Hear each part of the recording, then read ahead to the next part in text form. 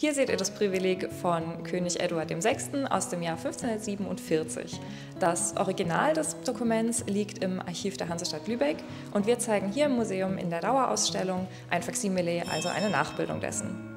Das Dokument beginnt in der ersten Zeile mit der sogenannten Intitulatio, der Nennung des Herrschers und des Titels. Die ist total aufwendig gestaltet mit ganz vielen Fabelwesen und äh, vielen Golddetails, was dafür spricht, dass das keine Quelle war, die nur im Archiv liegen sollte, sondern dass diese durchaus eine Ausfertigung zur öffentlichen Ausstellung ist. Man sieht in diesem aufwendigen gestalteten E in der Initiale, äh, wie der Herrscher dem hansischen Kaufmann dieses Privileg überreicht.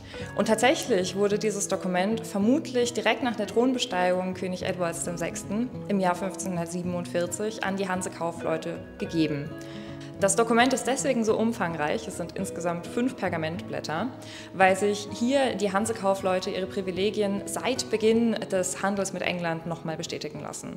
Das heißt, alle Handelsvorrechte wurden hier nochmal im Wortlaut abgeschrieben und das ist deswegen ein sehr bedeutungsvolles Dokument für die hansischen Kaufleute. Damit wurden den hansischen Kaufleuten die Handelsvorrechte, günstige Handelsbedingungen und auch niedrige Zölle bestätigt. Leider hielten die Handelsvorteile nach diesem Dokument nicht mehr lange an, denn 1552-53, also keine sechs Jahre später, wurden die meisten der Vorteile den hansischen Kaufleuten aberkannt.